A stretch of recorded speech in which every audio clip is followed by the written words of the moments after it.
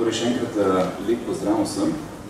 Kot najbrž da veste, je danes prav posebna priložnost, da nekako na tej okrogli mizi tudi večkrat spregovorimo o sami tematiki konoplje. Naslov okrogle mize je pravzaprav konoplja v svetu in Sloveniji. Tisto, na kar smo se skušali osredotočiti, pa je pravzaprav kako samo vprašanje konoplje in sama tematika počasi prihaja od užitka do zdravja, od pasivnosti do podjetnosti. Zato smo se tudi znova zbrali, lahko rečem znova, ker marsikdo pravzaprav že dokaj redno hodi na te naše okrogle mize oziroma se redno srečujemo in ugotavljamo, da vseeno vidimo napredek, po drugi strani pa ob teh naših okroglih mizah pogosto ostanemo na koncu brez dorečenih stališč in brez nekih rešitev. Zato smo se danes odločili, da bomo vseeno poizkušali štartati pravzaprav na ta način, da najdemo rešitve na podlagi dobrih primerov iz stojine in na podlagi primerov, ki se dogajajo pri nas in nekako mogoče celo strukturiramo način, kako bi lahko bilo področje konoplje v Sloveniji predvsej bolj urejeno, kako se sistemsko tega problema lotiti. In pri tem bi bodo seveda pomagali številni strokovnjaki. Marsikdo se danes ni odzval, zaradi tega vsem, ki ste tukaj in ste se odzvali, res najlepša hvala tako strani organizatorjev, društva v kot seveda tudi z moje strani, ker verjamem, da bo debata predvsej bolj konstruktivna. Potrebno pa je reči, da marsikatera pristojna državna institucija marsikdo, ki bi moral biti danes tukaj in uh, verjamem, da je društvo ne tukaj dalo veliko pravzaprav pobudo in tudi poklicano številne sogovornike se na to ni odzvalo. A, a lahko povemo, kdo se danes ni odzval? Lahko. Mislim, da bomo to povedali še najbolj natančno, ko bomo točno Božidarju predali besedo, ampak je ta seznam izjemno dolg. Jaz sem bil včeraj z njim seznanjen in moram reči, da je pravzaprav skoraj že nekako škandalozno, da ljudje, ki se redno srečujemo na teh mizah, na okroglih, debat, na okroglih mizah in na javnih debatah, tukaj mislim predvsem na gospoda Kreka, na gospoda Nolimala, da pravzaprav iz debate v debato vedno znova ugotavljamo, da je osnovni problem to, da nimamo sogovornika. Mi med seboj imamo že pravzaprav zelo sklečno stališče oziroma vemo, katero smer želimo peljati politiko v bodoče, kar se tiče področja konoplje. Tako strokovnjaki, kot seveda tudi zainteresirana ciljna javnost. Medtem kot tistih odločevalcev, ki bi pa pri tem nam lahko pomagali, nam nikakor ne uspe dobiti za skupno mizo. In to je velika težava, s katero se soočamo, zato se mi zdi, da je mogoče najbolj primerno, da vseeno štartamo z področja rešitev in poskušamo izluščati tiste odločevalce, na katere je potrebno pritisniti in jih spraviti v debato z nami. Zdaj, kar se današnjega dneva tiče, kot rečeno, sta se odzvala z Nacionalnega inštituta za javno zdravje, gospod Milan Krek, ki pokriva področje drog, in gospod Dušan Molima, ki pokriva področje socialne medicine. Um, mogoče bi izkoristil to priložnost, pa vas uh, kar počasi povabil, oziroma prosto, da prisedete tukaj ob meni. Um, potem smo zelo veseli odziva Ministrstva za kmetijstvo, gozdanstvo in prehrano, iz katerega prihaja gospod Matjaš Grkman, tudi jaz bi prosil, če se mu lahko pridružite tukaj. Um, potem bomo potrebovali še en stol in sicer se nam je na našo veliko veselje pridružila pri tej debati tudi strani politične sfere poslanka Violeta Tomič. Tako da smo toliko bolj veseli, da imamo tokrat nekoga novega med sogovorniki in nekoga, na katerega vemo, da pri politični, pri politični odločitvi marsikaj postoriti. Tako da hvala Violeti, da se je odzvala in prišla, bi pa, um, mislim, da se bomo tukaj le, gospodje, že lahko to stisnem, da bomo še damo sprejemnice. Pozdravljam vse organizatorje in vse, ki ste se udeležili. Kot je že povedal moj predhodnik, se očitno pogovarjate sami s sabo. Uh, to je tudi videti po praznih stolih, očitno ste pričakovali mnogo več ljudi in to je res žalostno. Jaz sem letos posadila prvič svojo nivo konoplje, ker sem želela videti in na lastni koži sprobati to, kar bom zagovarjala. Agronominja Maja Cokan me je usmerjala, tako da zdaj pravzaprav vem, kako je od pridobivanja dovoljenj do tega, kakšna je žetev, kje so težave, kako je z letino. V odboru za kmetijstvo, katerega podpredsednica sem, Eh, močno zagovarjam predelavo konoplje, sejanje lete po zatravnanih površinah in eh, verjamem, da bi industrija in gospodarstvo lahko mnogo lažje živela, če bi ta stvar postala nestigmatizirana. Ravno tako se v Združeni levici zauzemamo za legalizacijo vseh oblik konoplje v zdravstvene in rekreativne namene. Naša skupina z strokovnimi sodelavci že pripravlja predlog zakona, ampak prosim vas za potrpljenje. Vem, da je za vse bolnike hudo čakati vsak dan, vendar, če ne bo zakon zelo dobro pripravljen, potem je velika verjetnost, da bo padel in potem bomo čakali še par let. Tako da je naša poslanska skupina odprta za vse vaše predloge. Vem, da je veliko strokovnjakov tukaj z, tem, z tega področja in želimo si sodelovanja z vami in želimo si čim boljše predpriprave zakona in velikem upanju, da bomo uspeli narediti to veliko in dolgo pričakovano spremembo v Sloveniji. Hvala lepa.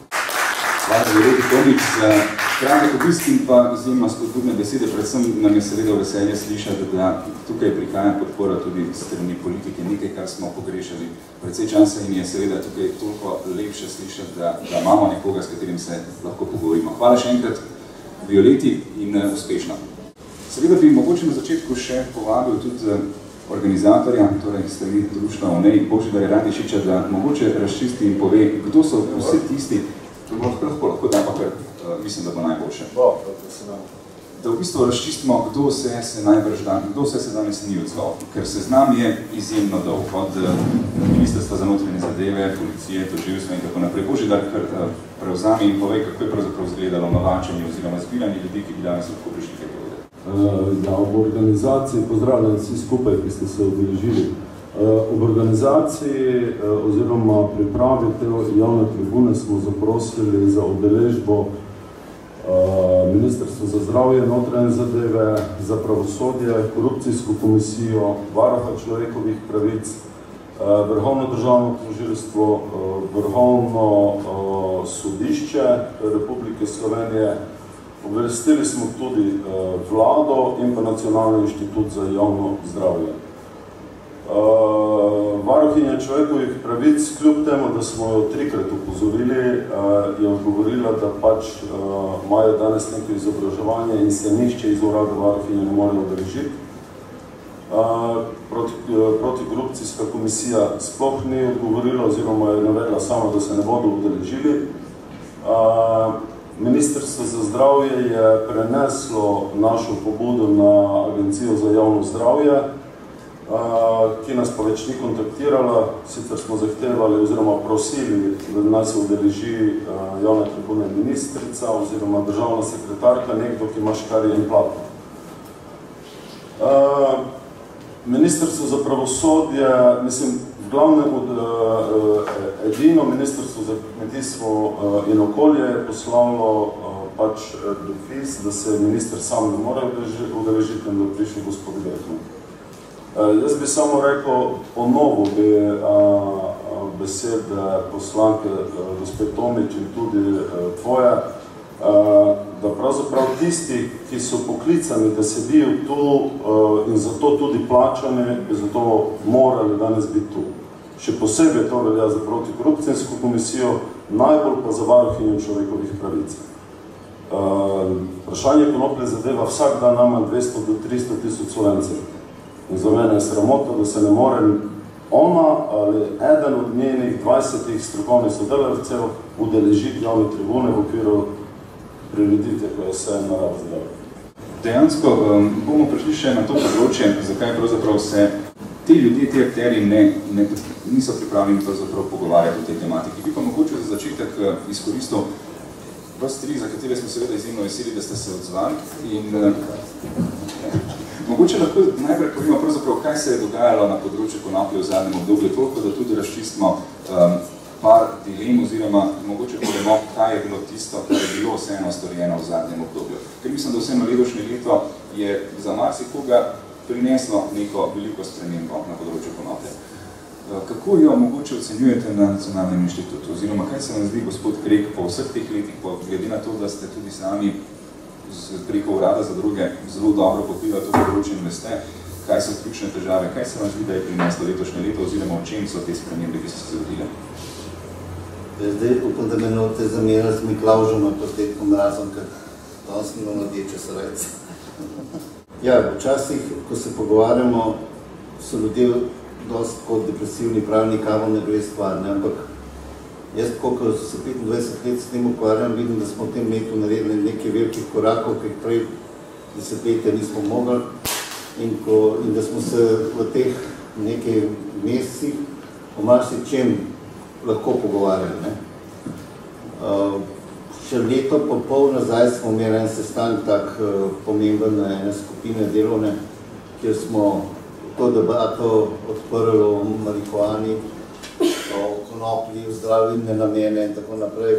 Pa je bilo zelo vse blokirano. No, zdaj stvari so danes veliko drugačne, se že pogovarjamo o tem, uh, spremljamo, kako je v svetu in kot veste, je prvi korak že narejen, je prvi, ampak je prvi narejen, ne, to je pomembno, da smo premestili uh, THC v drugo skupino.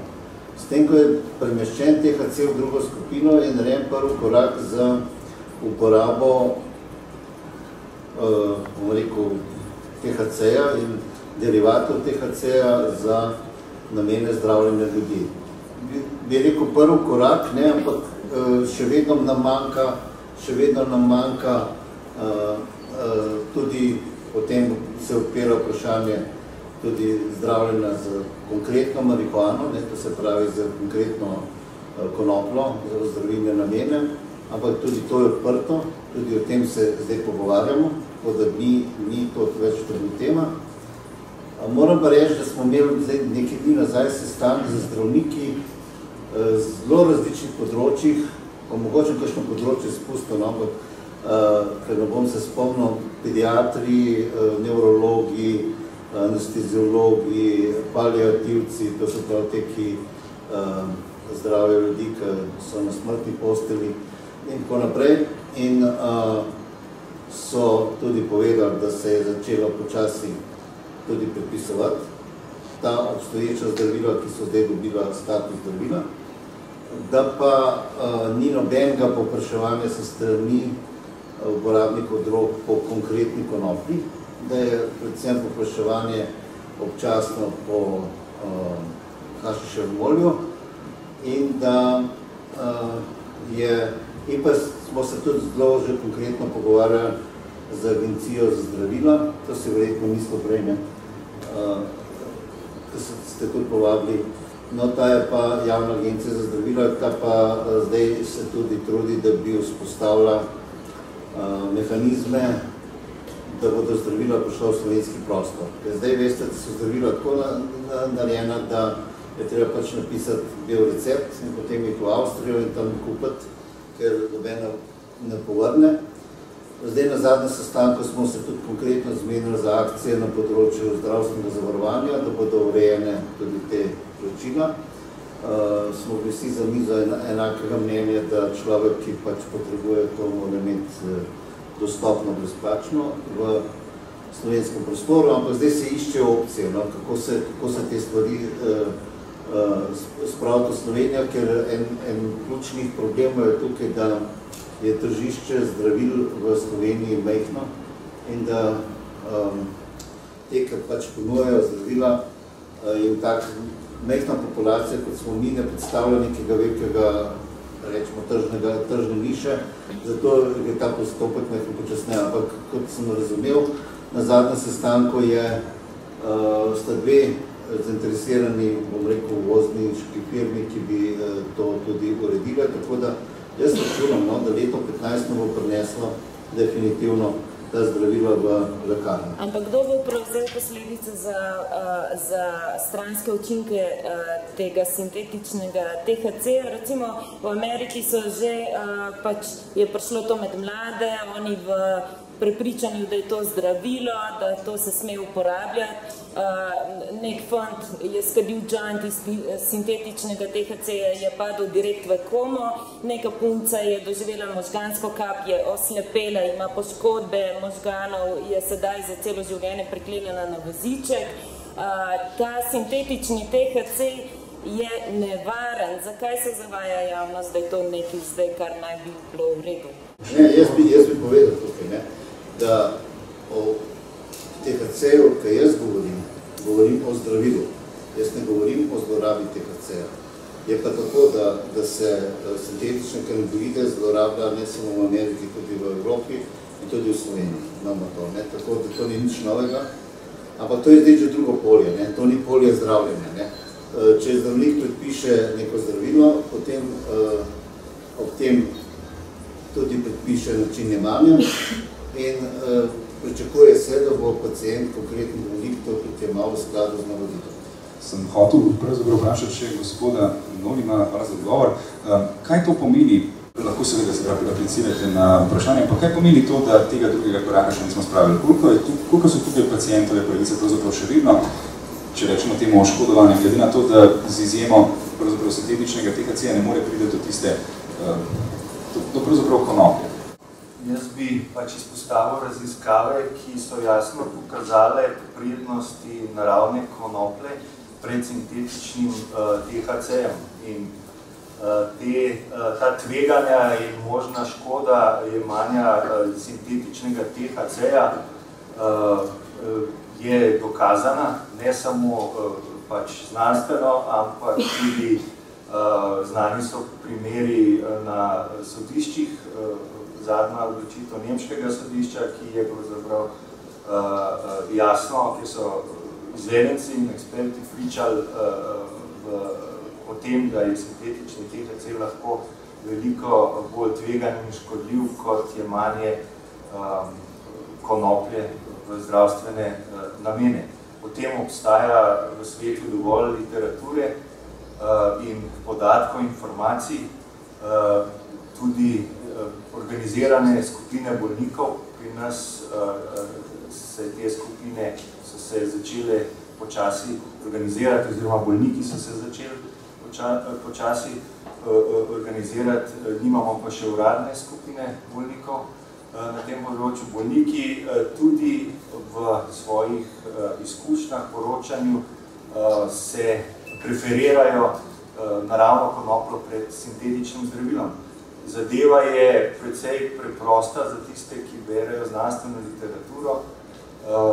Konopla je, naravna konopla rastlina je sestavljena iz več kot 68 kanabinoidov in še 420 dodatnih snovi, različnih fenolov, različnih sestavin, ki imajo ravno tako zdravilni učinek in fenomen je dobro opisan nimamo slovenskega izraza za to, ampak gre za neko sodelovanje, sinergijo različnih snovi in samo prisotnost vseh teh snovi v zdravilu je tista, ki je najmanj škodljiva. Čim mi izoliramo neko posamezno snov, to sicer farmacija redno počne, ne večina zdravil je tako nastalo, da so iz, iz zdravilnih rastlin izolirali pač eno snov in jo uporabljali kon, koncentrat, Eh, to pri, v nekaterih primerih gre, ampak v konoplji, v konoplji uh, in v teh preparatih, ki so psihoaktivni, pa to ne gre.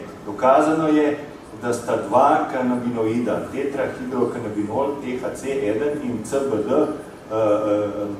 kanabidol, da sta v nekem, bi rekel, sorodstvenem razmerju in morda biti skupaj v zdravilu. In tega v zdravilih, ki so samo na podlagi sintetičnega THC-ja ni. Zato so ta zdravila zelo tvegana in kot je, kot je sem slišal iz publike, pač tudi vprašanje, uh, se samo strinjam s tem in tudi literatura kaže, da to ni najbolje. Sintetični THC je, je uh, kolikor jaz zadevo, razumem in jo poznam samo politična, ne pa Eh, strokovna rešitev in jo kot eh, zdravnik, eh, strokovnjak, specialist socialne medicine ne podpiram, podpiram rastlinsko konoplo za zdravljenje v primerih, kjer je ta konopla indicirana. Seveda moramo pospostaviti popolnoma drugačen sistem, kot ga imamo zdaj. Koraki so prepočasni v veliko državah je sintetični THC bil premeščen na, v drugo skupino med tako imenovane droge, ki se lahko uporabljajo v medicinske namene že leta 1991. Ne. Zanimiva so pa dogajanja na mednarodnem področju, ampak o tem morda v nadaljevanju, kdo je, kateri igravci so tukaj, kdo ima interese. Žal, mi moramo zagovarjati pač interese bolnikov in ranljivih skupin, ne pa interese kapitala in politične interese. Tako da moj kratek odgovor je, da trenutno stanje ni zadovoljujoče, je nejasno in bolnike, ki jih poznamo v okviru delovanja društva v NEJ in tudi s katerim se jaz osebno srečujem, izražajo potrebo po zdravljenju z rastlinsko konopljo. Torej, v bistvu je ta prvi korak, ki smo ga naredili, toliko da vemo, je nek začetek v pravo smer. Ni pa niti približno tisto, kar bi si tako bolniki, kot seveda tudi zdravniki želeli. In... Ne, ne vem, če to res. Aha. Jaz, jaz moram reči, da ko sem jaz sledim v tej skupini teh zdravnikov, ko sem vam prej naštel, so predstavniki, a imajo vsi te razloženko, verjetno nimate, ne? Uh, tukaj, pa so, mislim, da so tukaj noter napisani, ja, zadnje vseh teh inštitucij, to je kar veliko zdravnikov, ne? In uh, jaz nisem pripričan, da te zdravniki, ki tam sedijo, da podpirajo marihuano, ne? Vprašanje, koliko ti ljudje res vedo o tem področju? Ne, smo, lete, smo imeli dva sestanka in na dveh sestankih o, ter, o terapiji z marihuano ni bilo govora. Pa so seznanjeni s temi podatki, da je sintetični ja, THC, odkar ne spomnim, za to področje vedno bil problematičen v primerjavi s pravo konoplje. Prav zaradi tega balansa delovanja različnih kanabinoidov. Poglejte, zdaj, jaz moram nekaj reči, ne, da nekaj je socialna medicina, ki se ukvarja z eno zadevo, druga je pa klinična medicina. Ne. In o zdravljenju uh, in o zdravilih odloča ponovati klinična medicina, ne uh, javno zdravstvo. Javno zdravstvo lahko nekako ukvirja stvari, pa, pa pove, kaj je boš, kaj ne, in tako naprej z vidika uh, javnega zdravja. Klinika ne pa tista, ki zahteva zdravila, klinika je tista, ki uvaja zdravila, klinika je tista, ki, ki pa nese novo zdravilo in ga potem tudi implementira. Tako da je težko, veste, mi dva z Dušanom nismo v poziciji, da bi mi dva zdravila, ne? mi dva nismo tista, ki bi uh, predpisovala uh, uh, kanabis za zdravilo ali pa kanabivide. Ne? Zatega je treba tukaj vedeti, da more, da more ta korak narediti klinična medicina. Ne? Ne? Mi pa nismo iz pravega uh, uh, hleva. Ne? To zastopimo, ampak smo prišli do tega, ja. da je pravzaprav znanstveno dokazano, da je neka stvar bolj tvegana kot druga, potem kot te druge stvari dostopne. Zaradi tega se meni tudi poraja vprašanje, ali ti ljudje, ki pač so zadolženi za to, da vseeno razmišljajo o tem področju o neki pravilni odločitvi, vedo za to vrstne raziskave. Poglejte, no, se zgodi, če mi pokličemo profesore ne, z tega področja, ne, iz posameznega področja, jaz pričakujem, da te ljudje spremljajo takočno literaturo. In da če vejo, da pride na, na to predavanje, oziroma na, to, na ta sestanek, ne, kjer se, se dobivamo, da, da te ljudje tudi spremljajo, mislim, logično, da spremljajo. Ne. In uh, moram, moram pa reči, da uh, ne samo, da zdaj, ko smo nekaj tako vrgli to uh, rekel, vprašanje okrog uh, zdravljenja z marihuano, so oni celo povedali, da ne želijo pacijenti zdravljenja z, da to ni popraševanje. Dajte, jaz vam govorim, kaj so povedali. Jaz tudi Dejte, nisem tega Jaz to povedal, kaj sem jaz slišal. ljudje, ki so napisali to zloženko? Ne. Ti strokovnjaki? Dajte, jaz vam sam povem, kaj govori klinična medicina. Ja, ja. Govorimo o klinični medicini, mi ga nismo klinična medicina. Ne? Zdaj, mogoče toliko, da vprašam še vas. Jaz moram priznati tudi material, da klinična medicina vprašanje, ali dela res v interesu bolnika ali ne dela v interesu bolnika, ja, ko smo že pri tem, kar je prej gospod Oliver omenil. Bi pa tukaj zdaj še vama predolgo, da ste imela oba replika.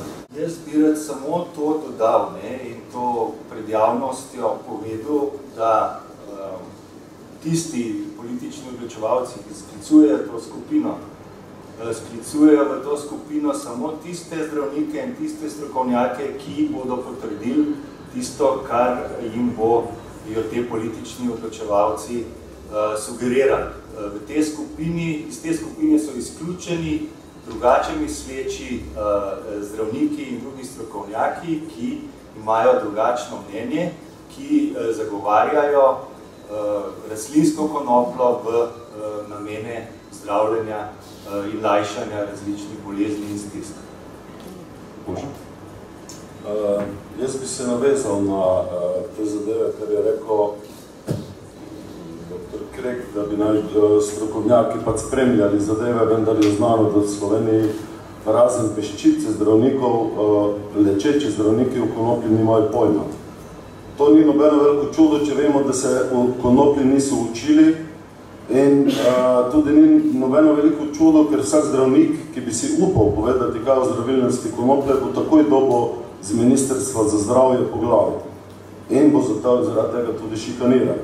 Če bi se sprejemale spremembe v Sloveniji na podlagi strokovnih odločitev, jaz bi povzel izjavo iz dokumentarca oziroma žbeja bivše varuhinje človekovih pravic, ki pravi, da če bi bila dekriminalizacija konoplje strokovno in ne politično vprašanje, bi že zdavno bila dekriminalizirana. Uh, namreč tudi sprememba uredbe, uh, za katero uh, gospod Krek pravi, da je neki velik dosežek, je pravzaprav pesek v oči in veliko škoda narejena celemu sistemu. Namreč, uredba se je sprejela na podlagi brez ene strokovne podlage. Na podlagi brez kakršnekoli javne razprave, čeprav je takratna državna sekretarka v živo v kamero obljubila, da bo najširša državna razprava in da bo neki konsens, ko smo govorili v parlamentu uh, spremembi zakona.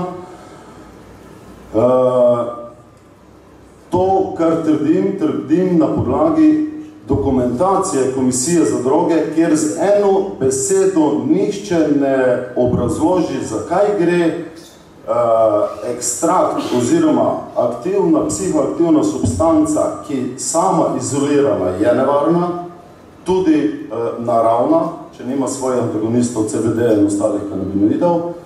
In kak je mogoče, da je rastlina, iz katere se ta nevarna substanca pridobiva ostalo v prvi skupini. Skak, kak je strokovne podlage? Uh, poleg vsega, recimo, strokovnjaki, ki so izdali to uh, uh, tole uporabo konoplje v medicini, jaz to ne vidim nobenega strokovnjaka napisanega, ampak same inštitucije. Za mene, če je strokovna publikacija, morajo biti zdrave viri in navedeni, kdo je to pisal. Ker z vsem nožim do spoštovanja do strokovnjakov, ampak to je navaden zmazek in dezinformacija. Uh, namreč od uh, ljudi, ki sedijo v tako pomembnem Eh, organu, kot je urad za droge prej, kot je komisija za droge, bi človek pričakoval, da poznajo konopljo, njeno farmakokinetiko in vse pluse in minuse. Namreč, mi sami smo že organizirali kar nekaj seminarjev, mi smo sproti obveščali uh, se pravi ustrezne, uh, odgovorne na, uh, na Ministrstvo za zdravje, vendar se ne zgodi nič, tako se ni zgodilo danes, ko bi moral nekdo tu sedeti. Uh, naj vam povem, da je človekovo, mislim, sodišče za človekove pravice, Evropsko seveda, sprejelo sodbo, kjer je navedlo izredno, da umetni sintetizirani kanabinoidi ne morejo predstavljati zdravila, ker so prevelika grožnja za zdravje. Hvala, uh, mogoče pa se mi zdi, da je zelo primerno v tem trenutku se osredotočiti na to, kaj prinese to spremembo. In pred kratkim smo imeli spremembo na področju sladkih pijač, tukaj bi mogoče gospoda Matjaža Grkmana z Ministrstva za kmetijstvo, gozdarstvo in prehrano vprašal.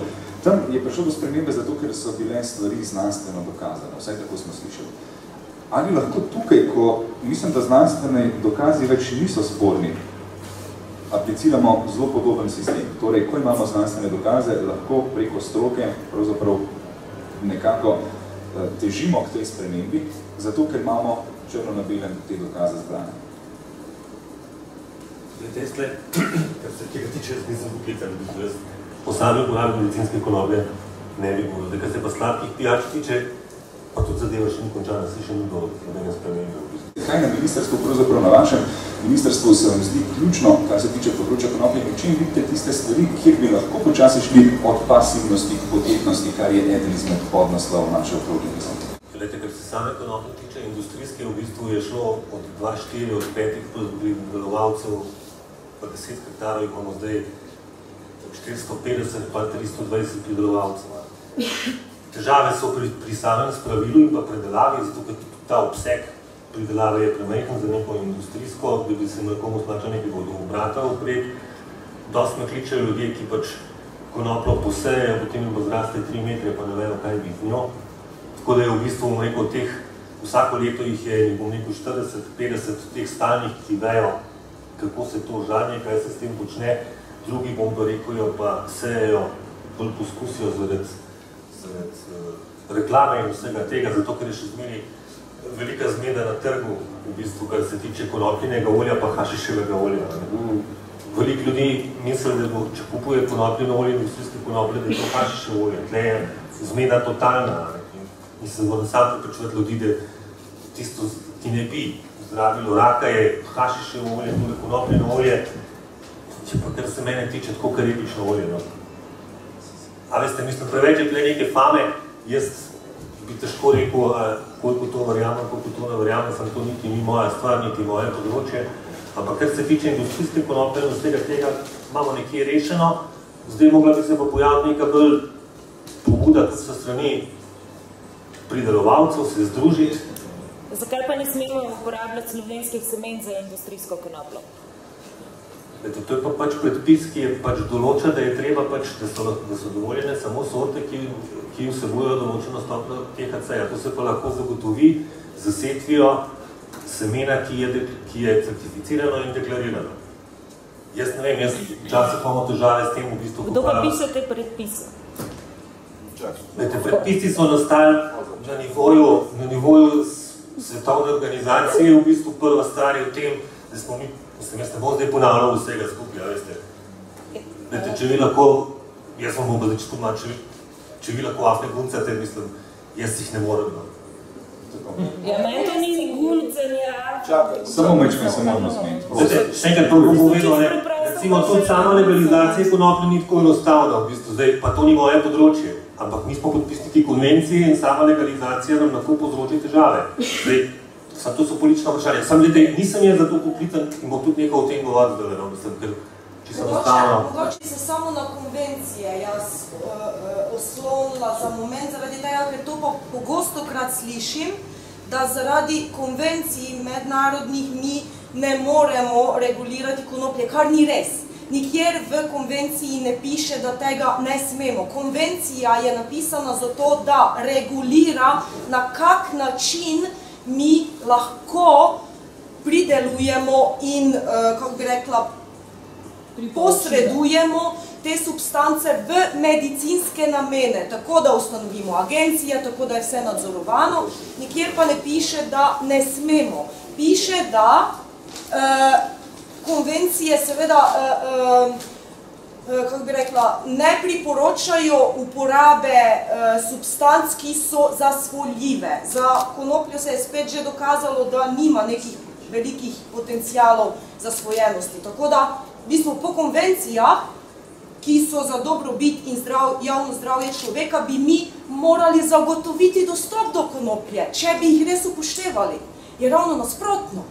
Gospod Vrkman, na to končaj. Jaz bom sam zdaj končal, kaj bi kaj bi eventualno lahko naredil in koliko je tle kmetijstva. Zdaj, kaj se tiče industrijske konoplje, jaz mislim, da bomo zadevo rešeno in pokrito.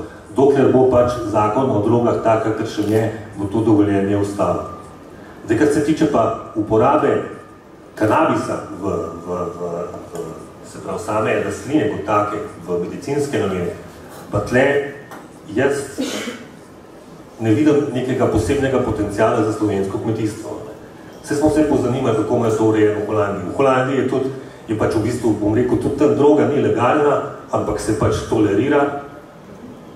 Uporabo medicinske namene je pa strogo regulirana. Ne? Ampak to je, bom rekel, tam je, kot jaz vem, po, po informacijah, ki sem jih dobil z interneta, je to ena firma, privatna sicer, ki je pač se mogla prijaviti dve leti poskus so imeli dve leti zaporedoma pridelati konopljo z vsebnostjo THC-ja, tako kot je, kemijsko sestavo in to zagotoviti v dveh letih. Potem so lahko pridobili še dovoljenje, potem je pa to vse v bistvu hermetično zaprt sistem, ki se točno ve, kakšen gram gre, kam ne gre. Zdaj, jaz strokovnjak za to kupi te konoplje, vidim, ampak to je recimo en hektar ali pa en obrat, to za, za samo slovensko kmetijstvo, jaz tle ne vidim nobene, ker včasih tudi recimo se pogovarjam z nekim rengeom, z ne vem kom, mislim, da to bomo pa mi zdaj kar industrijsko konoplo, bomo kmetje pač kar imeli in jo bomo imeli za medicinsko. Ne? Tle bi tudi gospoda na svoji desni pričakoval, da bo v bistvu to, to povedal, da ta konopla ne more biti kar neka konopla, uh, o tem tudi, kar vi govorite, samo sevka, kako je to fajn, pa juhuhu, pa sem in tja, ampak tudi v Holandiji, če jo predpiše zdravnik, on točno ve, kaj predpisuje. Ne predpisuje tamle neke konoplje iz menješkega polja, ki je zrasla med koruzo, ali pa nad kamnikom tamle preke v ševko, uh, ampak predpiše industrijsko konoplo, ne? to treba vedeti, da tudi zunaj, ki je pač vzgojena za ta namen in je tudi sorta za ta namen in jo ne predpisujejo tudi tam zunaj, kar tako. To sicer ni moj področje, ampak sem se pač pozanimal. Ja, ja, to je point Tako, jaz bi samo eh, še eno tukaj le, Če lahko, ker sem bil izzvan, jaz bom še enkrat ponovil uh, znani uh, stavek, ki veliko pove. Ne? Konopla je uh, vse prej kot le uh, samo droga. Ne? In uh, znanja očitno primankuje na, na vseh uh, področjih in nivojih o konoplji. Uh, kmetje uh, ponovno niso zadovoljni z, z takšnimi uh, predpisi, kot so, uh, saj tisti kmetje, ki se obračajo na nas, govorijo, da če bi bila dovoljena konopla za industrijske namene, ki bi imela večjo vsebino THC-ja, bi, bil, bi bili to boljši izdelki, boljši produkti in si želijo več fleksibilnosti na tem področju. Zakaj semena ne morajo pridelovati slovenska, mi ni, mi ni jasno, ampak mi smo tukaj verjetno zato, da ščitimo lastne slovenske kmete, ne pa monopole, monopol tujih kmetov. O konoplji se lahko pogovarjamo čez dobro, dejansko poznamo zgodovino konoplje. Kako je prišlo do prohibicije konoplje? Prohibicija konoplje je nastala ne zaradi medicinskih in znanstvenih razlogov, ampak čisto zaradi rasističnih in homofobnih razlogov. Dajte to razumeti. In tako se je razvil v Ameriki v tistih 20-ih, sredi 20-ih let je do tega prišlo in se je nadaljevalo. Na, na, te, na tem so delali karijere različni politiki, ki so to uporabljali za manipulacijo, ne pa, da bi pomagali ljudem. Uh, to, da se ščitimo otroke s temi predpisi in s temi s to regulacijo ni res. Otroci in mladina nikoli ni bilo še tako lah, lahko dostopna konopla za njih, kot je zdaj. Zato mi rabimo boljši nadzor nad konoplo, boljše regulacije, kot je zdaj, ne da to dela črni trg. To, to si mi želimo. Spoh, ne govorimo o legalizaciji, mi smo za model regulacije, kot ga pozna javno zdravje. To ni ne legalizacija, to ni ne prohibicija, to je model javnega zdravja, ki se mu reče zmanjševanje škode. Dajmo se o tem pogovarjati. Mi moramo zmanjševati škode, ne omogočati mladim in otrokom, da uživajo. Bolnikom pa ja, to je prioriteten. Bolniki v tem trenutku, kakorkoli se bomo tle sprenevedali, nimajo možnost dobiti uh, zdravilno konoplo rastlino za, za, uh, za zdravljenje oziroma za lajšanje različnih motenj. Konvencije, konvencije, na konvencije temeljijo na dveh principih na principu omojevanja in na principu omogočanja. Mi se pogovarjamo v Sloveniji predvsem o principu omejevanja. Mi samo omejujemo. Konvencije imajo jasno povedano, da so tudi zato tle, da omogočimo ljudem, da se uh, takšne rastline, tudi kot je konopla, ki, so, ki, ki je lahko tudi droga, da se jim jo pač omogoči tistim, ki želijo in jo uporabljati na odgovoren način, bodi si za zdravje ali pa bom rekel celo za rekreacijo, čeprav jaz nisem za rekreacijsko uporabo konoplje, ampak ljudje imajo pravice do tega, če mislijo, da jim to koristi, da se boljše počutijo in tako naprej. Jaz kot specialist socialne medicine sem tudi aktivist, ki se zauzema za človekove pravice. Tle so dejansko človekove pravice kršene in uh, veliko je pa tle sprenevedanja in, uh, in tega in drugega in premalo znanja. Žal je treba, vsi moramo poglobljiti znanje. Največji sovražniki smo pa sami sebi, zato ker smo polni strahov in premalo vemo na tem področju. Dajmo zboljšati znanje in da nas je manj strah. Uh, če, bomo imeli, če bomo to regulirali boljše, če bomo imeli zakon o konoplji, urad o konoplji, bomo to na dosti boljši način delali, kot kar zdaj. Dajmo pustiti to, da dela javno zdravje uh, in dajmo podpreti to, ni ne se med sabo pač krega, kdo je bolj pameten in kdo ni. Ampak, um, samo nekaj. Hvala, gospodu, hvala pravzaprav vsem za mnenje Boži, da bi imel še nekaj za pripomniti, za dodati. Ja, jaz bi se navezal na izvajanje gospoda Grkona, ker se tiče industrijske konoplje. Jaz bi najprej prvo rad upozoril uh, vse strokovnjake Slovenije, da konoplja je ena in edina in to je konoplja. Uh, kot je že večkrat uh, omenil gospod Krek, da so to neke gensko spremenjene konoplje, vse to so neresnice in uh, samo kaže, da ljudje tudi agronomi, tudi doktori znanosti Slovenije v konoplji nimajo pojma. Uh, nažalost, uh, namreč, uh, namen konoplja oziroma imenovanje konoplje na industrijsko, medicinsko, rekreativno, kakršno koli, definira njen namen uporabe. Industrijska konoplja je isto tako učinkovito zdravilo, ne, če je pod 0,2 THC-ja, kot Eh, tako imenovana medicinska konoplja za določene zadeve. Se pravi, pol industrijska konoplja ne sme biti zdravilo, če ima zdravilne učinke. E, drugo, administrativna meja 0,2% ni zakonsko nikjer v Evropi določena in je to zavajanje spet slovenskih e, strokovnjakov. Meja 0,2% je samo, če tvoja konopla ima nad 0,2%, ne moreš dobiti subvencije ker smo v Evropski uniji, imajo Finci čez 1%. Ne?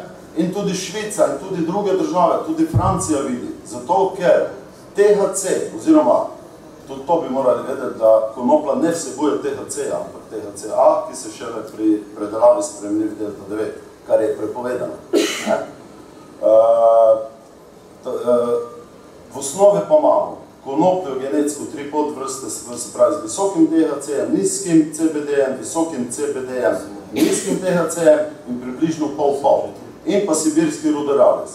In vse te govorice, da je to prepovedano 0,2%, ni res. Uh, samo še to povem, da Slovenija je šlo tako daleč, da je človek dobil za tri sadike industrijske konoplje zaporno kazen. 70 let star človek z tremi diagnosticiranimi raki. In to je tisto, jaz več čas, ne, eh, pravzaprav ministrstvo za kmetijstvo to niti nima nič, ker je urejeno. Sramota je pa za tako imenovane slovenske strokovnjake, da jim eno društvo z obrobja pet let soli glavo in nič ne naredijo. Ker tako, kak je gospod uh, Nolimar rekel, to je najbolj uh, eklatantno uh, kršenje človekovih pravic, zato ker je po nepotrebnem kriminalizirajo ljudi, po nepotrebnem zapirajo in policija in sodišča, predvsem in tožilstvo za svoje, zaradi svojega nezakonitega, nemoralnega in neumnega dela povzroča 200 milijonov direktne škode letnemu proračunu. Zato, ker nekdo ne more povedati bo, bo, bo. Hvala. Mi smo eno, en komentar strani občinstva, kar izvolite. Uh, jaz sem eno od tistih doktorjev znanosti, ki nimajo pojma. Uh, zato uh, ne bom šel gor. um, ne, nimam pojma o teh uh, kemičnih lastnostih uh, konople, ne. Najbrž dost manj, kot večina tukaj v tej sobi. Uh, tudi uh, pravzaprav o pravni regulaciji tudi nimam toliko zelo velik uh, pojma, kot ste, uh, ste zdaj izkazali. Ne, imam pa neki pojma o socialnem delu, pa o zmanjševanju škode, pa o človekovih pravicah. To. In bi rad akcentuiral to, kar sta uh, Božji dar pa uh, Dušan prele uh, rekla. Ne. Ne, uh, akcentuiral bi s tem, ne, en, en absurd, paradoks je to, da, da, do, uh, da so prepovedane droge, ne, s kolopšnim načelom, ampak tudi ostale, ne, bistveno manj škodljive za zdrave, kot dovoljene droge. Ne in tiste, ki so, uh, ki so komercialne in tiste, ki, so, uh, uh, ki jih prepisujejo zdravniki. Ne, tle rešimo ne, nekak, ne, kakšne posledice imajo psihiatrična zdravila za, za zdravje in tako naprej. In vsak tretji nekak... Sloveniji si ima Prosim. Ne. In, eh, in tudi bi rekel, če pogledamo epidemiološko, ne, koliko, je, koliko je tega in tako naprej, ne, pol, ne, se človek, človek zamisli. Ne, zdaj rečemo, ne, nekako lahko, lahko rečemo tako, kot In jaz mislim, da to, da to drži, tako kot je Dušan rekel, da rečemo, so to neki zgodovinsko-kulturni eh, eh, dogodki, eh, naključja, eh, nesreče, ne, da se je tako razpletlo. Eh, zdaj rečemo, ne, nekako tle je, eh, ne, lahko bi se zgodil mogoče tudi drugače, da bi bil alkohol pa tobak eh, prepovedan, pa da bi bile te eh, dovoljene. Ne. Če tako zelo na širok pogledam.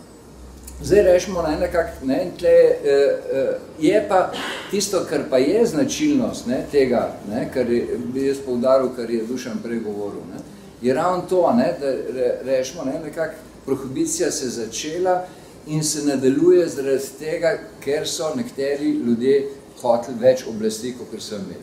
A ne, Harry Ainsworth, a ne, ki, na katerega je je omenil, a ne, je, je s tem naredil kariero, se je s tem potegnil ne, iz tistega, iz, uh, uh, iz proti uh, alkoholne uh, uh, agencije, je pol, ne, ni imel službe in, je, uh, in si je naredil službo, in, uh, ampak ne sam to, ne, uh, ne, cel uh, ne, še krepkejši aparat, kot je bilo Elliot Ness in kompanija, ne, uh, uh, ki, ne, ta DEA, ki, ki zdaj bi rekel, ne, nekak, no, mogoče malo manj, ampak ne, ki je krojil politiko v uh, dobrošnjem delu uh, latinsko-ameriških držav in pa, uh, uh, in pa še kje druge po svetu. Ne, se pravi, rečemo, ne, gre, uh, v, v bistvu ne, ne gre za uh, zdravstvene probleme, gre za probleme uh, moči.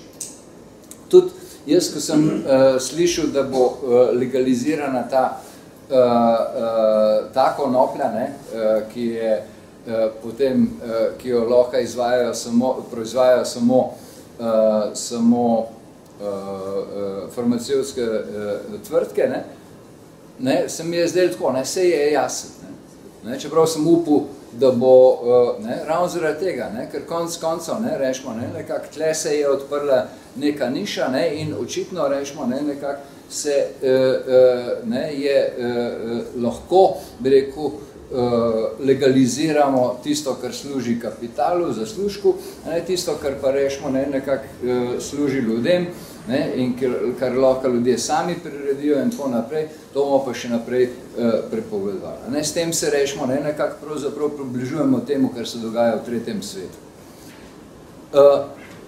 No in tudi, uh, ne, tako da rečemo, ne, nekak še to bi podaril, ker sta in uh, Dušan in uh, Božeda rekla, ne, ne, se pravi, ta glavna škodljiva poslediča konople je to, da je prepovedana. Ne, je to, da je prepovedana, ne, nekak, ne, največ uh, škodljivih posledic so nastopijo zaradi preganjanja uh, konople, ne, ljudje zaradi tega najbolj trpijo, ne, uh, uh, največ imamo zaradi tega, bi rekel, Uh, uh, ne, in tudi, če pogledamo preko iz javno zdravstvenega uh, uh, vidika, ne, rešimo, ne, nekak, ne, to so veliko socialne bolezni, ki jih pro, uh, producira ta sistem.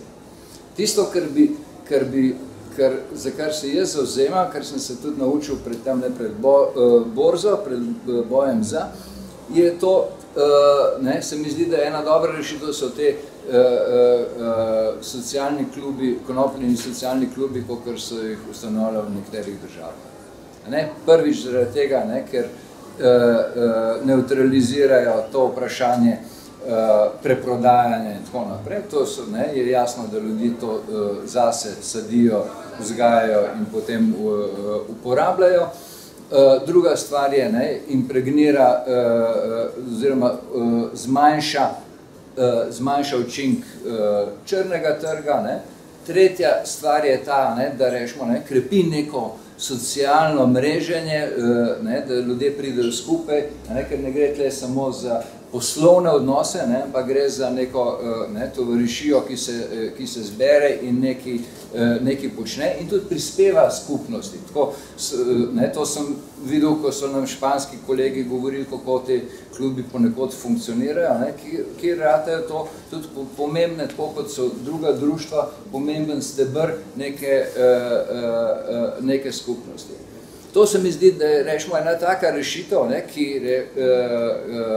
ki, ki niti ne zadira niti radikalno v vprašanja legalizacije ali nelegalizacije, ne, je pa, bi rekel, ne, nekaj, nek, nekaj, kar omogoča, ne, ne, in, uh, uh, omogoča nekaj, kar je po moje dobrega in koristnega. Ne. In jaz mislim tako, ne, da rešimo, ne, nekako pravzaprav moramo rešiti, uh, iskati take rešitve.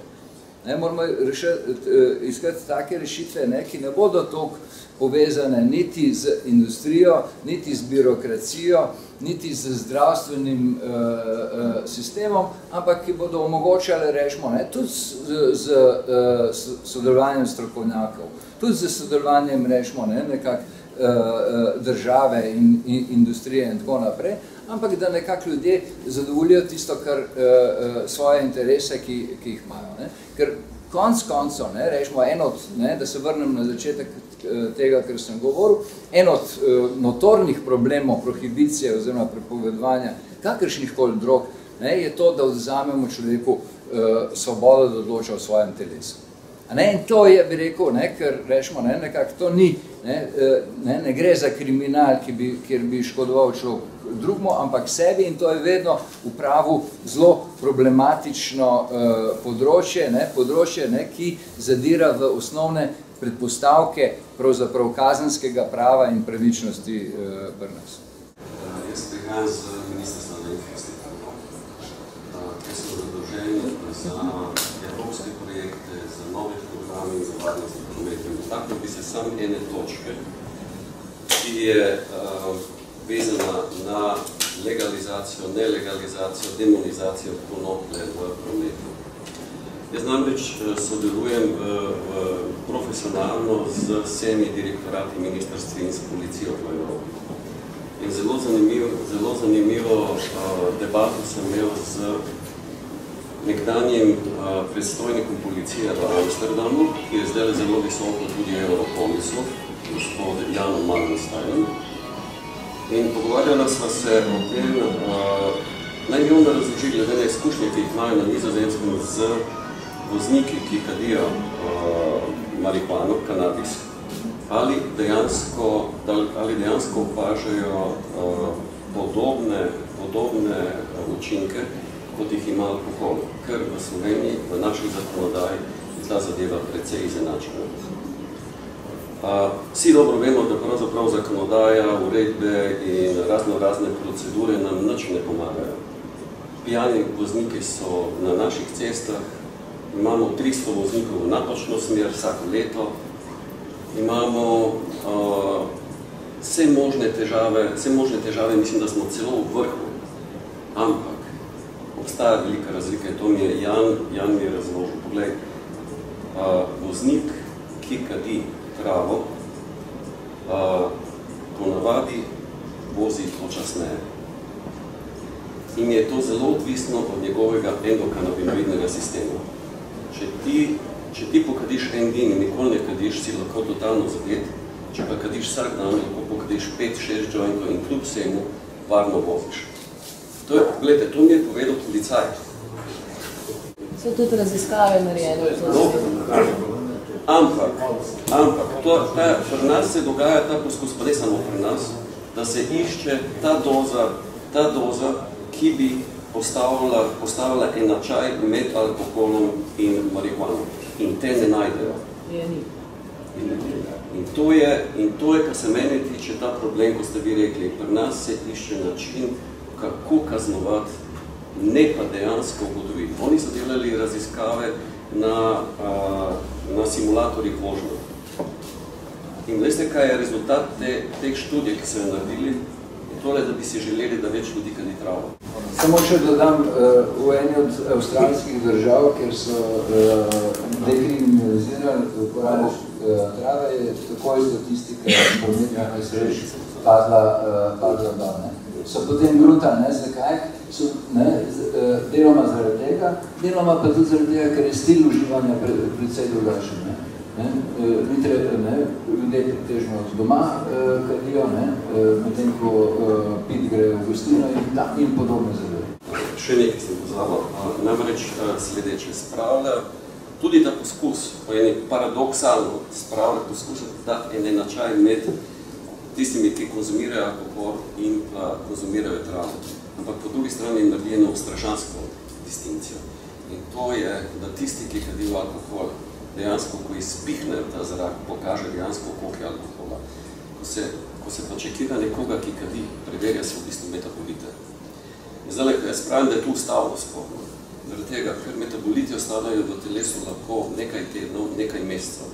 Če bi isto naredili z alkoholom, se noben ne bi vozil po cestah. Zato pravim, da je ta zadeva strašansko ustavno sporna.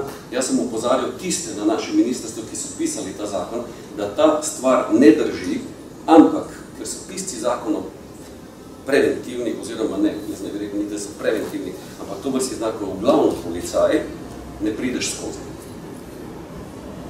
Zato pravim, da tukaj bi človek moral odpreti dejansko zadevo na ustavnem sodišču, ker ti imaš metabolit 80 dni lahko pristoten in če bi jaz recimo nekomu priverjal dejansko metabolit, alkoholni metabolit, na isti način dejansko bi mu prepovedal, vsakemu bi vzel vozniško dovoljenje.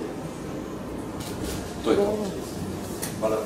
Hvala tako gospodu Flankerju, kot se gospodu Dejno Herendi za njegovo mnenje. Jaz eh, moram reči, da sem zelo vesel, da ga slišim. Jaz pred leti, ko sem se sam ukvarjal s tem področjem v tistem dokumentarnem filmu, sem bil tudi opcijo iti na simulator vožnje. Seveda gospodu nisem povedal, da sem eh, predtem izdatno kadil, zato da bi pač prišel tja v fazi, v kateri ne, ne bi vozil naslednjih 28 oziroma 80 dni, kaj še le naslednja ura.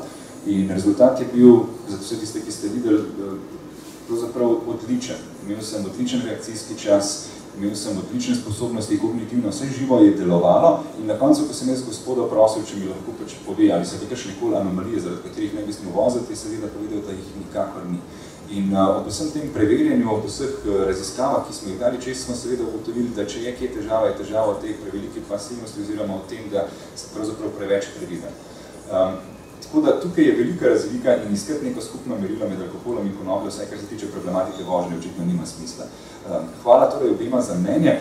Jaz bi mogoče tukaj zdaj, ehm, smo zašli spet na obilico področji. Upam, da na njih iščemo rešitve. Mi je pa zanimivo, če imamo gospoda ehm, z Ministrstva za kmetijstvo, gozdarstvo in prehrano. Včeraj, ko so vas Božibarjem govorila, sem mu omenil eno zadevo, da se mi zdi, da mogoče je narobe, da vse te predloge sprememb ponuja ciljna javnost, da jih ne ponujajo ljudje, ki bi v tem videli interes. Ko že gremo in govorimo od, eh, kako bi šli od pasivnosti k podjetnosti, ali je možno, da bi turistične kmetije zaslutile v tem veliko priložnost, da bi turistična organizacija zaslutila v tem veliko priložnost, da bi lokali, zakaj to ni neka posebnost, s katero bi Slovenija vabila turiste, zakaj to ni neka posebnost, v katerem bi tudi kmetijstvo zasluto to dodano vrednost. Če pravite, da je od petih pridelovalcev zrasla na 230, jaz sem pripričan, da bi veliko turističnih kmetij zagrabilo priložnost ponujanja v pogleda v to, kako pridelovati industrijsko, kakršno koli že konoplje, oziroma za katerikoli namen, še bolj pa, seveda, če podobno zraven, še način, kako se potem pridela, a še bolje.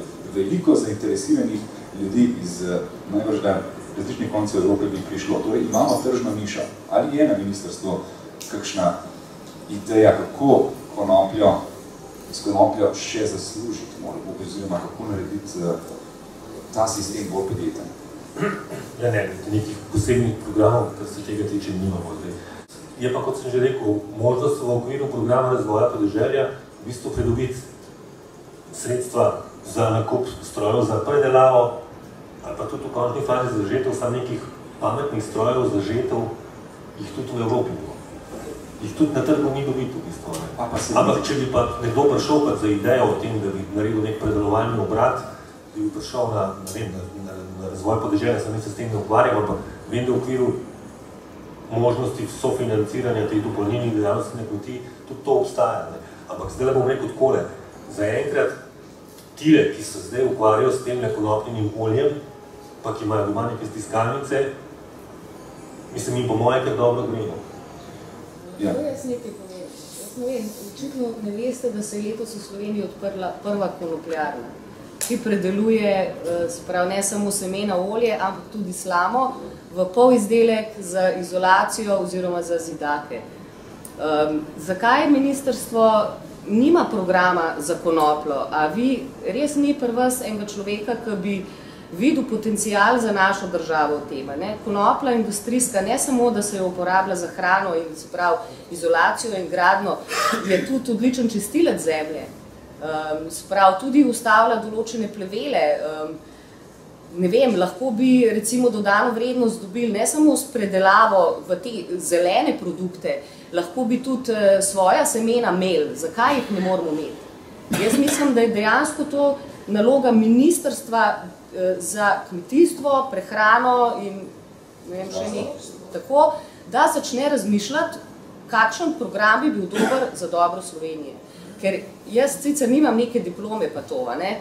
ampak jaz vidim tak finančen uh, priliv v zvezi z vsakršno konopljo v našo državo, da enostavno ne razumem, kako pristojni tega ne vidijo. Naša država se potaplja, konopla je pa rešiteljica, ne glede na to, o kateri se prav tako imenovani vrste konoplje se pogovarjamo. Preliminarne izračunice so hitre, so pokazale od 500 milijonov do 1 milijarde bi lahko padali v BDP države, s tem, ko bi konoplo legalizirali in bi se začeli produkte delati.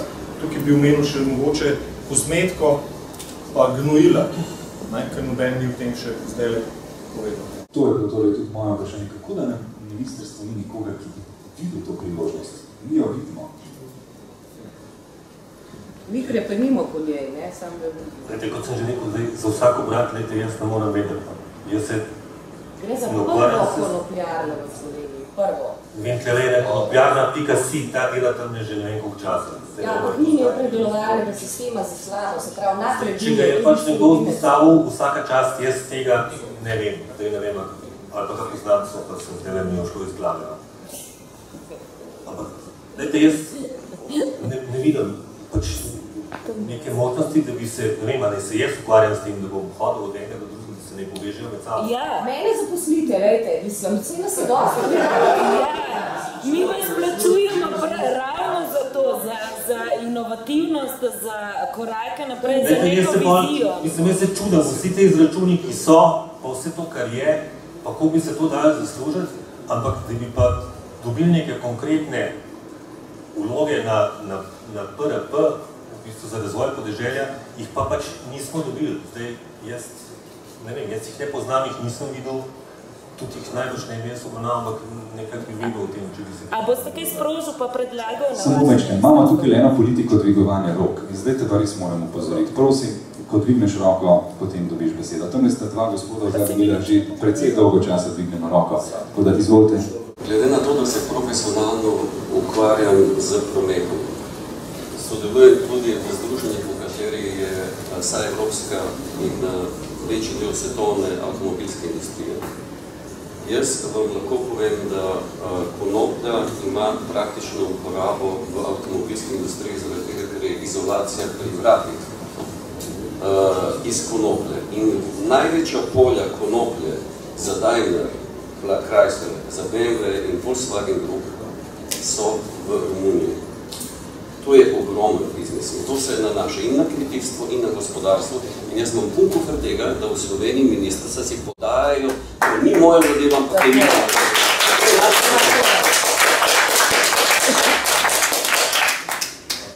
Ja, jaz bi rad povedal še to, da mnogo let, že po mojem, že kar od kar smo se Slovenija osamosvojila, so različne civilne inicijative, društva pošiljale dokumente, obvestila, pisma o nameri, prošnje na ministrstva in na urade, ampak vsi skup smo dobili en vtis, da ne, da se dela za konoplo, da se dela proti temu, da bi se sploh karkoli s konoplo naredili v Sloveniji. Ne?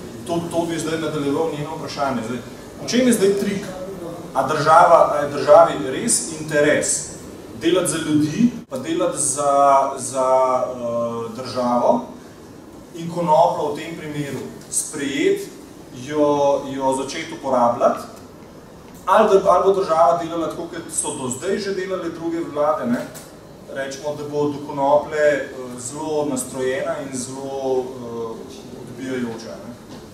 Hvala. Jaz ne vem, kaj nam preprečuje, kar se tiče industrijske konople, kaj nam preprečuje postaviti en, en obrat za predelavo? Najbrž imate finančnih sredstev. Zdaj. Lahko jaz nekaj povem. Recimo, pri nas je ta omejitev nič, do nič cela 2% THC je industrijska konopla. Recimo Avstrija, ki je v isti Evropski uniji, kot mi, in še, kot je Boži, da rekel Švica in Francija in tako naprej, imajo dovoljeno višjo. Zakaj? Ker so vlakna prožnejša, ker so vlakna kvalitetnejša, ker je donos semen večji. Se pravi, država s tem, ko postavlja take omejitve, ki pravzaprav so napisane v konvencijah le kot priporočila oziroma kot navodila za pridobivanje subvencij, pravzaprav ignorira. Nihče noče o tem nič slišati, ampak to so dejstva, zakaj imajo strici dvignen, zato imajo večji donos. Ne? Sprav, ne samo oni. Pri nas pa ko gluhi in slepi za to koristno rastlino. Jaz so teh podatkih, o tem, da imajo kje druge više posebnosti, jaz tega ne poznam. Mislim, v Evropi je na tiste, ki so na so, tiste, ki so... Čakajte malo, veste, kako se ste vi tudi uradnik, no, ne, da zdaj kleveje. Glede, tudi Francija, tudi Finska, posebnost konoplje, ki je ki se jo lahko subvencionira, je ni celi 2 THC-ja. Ja, ki se jo lahko subvencionira, ne pa da ti jo pošljaš. Pa želiš pač večji dobiček. Konoplja je pa nas pač prepovedana droga, to ni moja stvar. To ni stvar ministrstva za kmetijstvo. Vi, zakaj ste prišli na debato o konoplji, ko vendarle o tem ne, ne veste nič? Zakaj so vas poslali, to me je zanima.